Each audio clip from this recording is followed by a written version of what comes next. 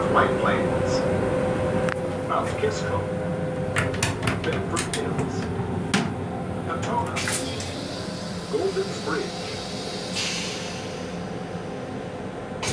Purdy, Croton Falls, Brewster, Southeast.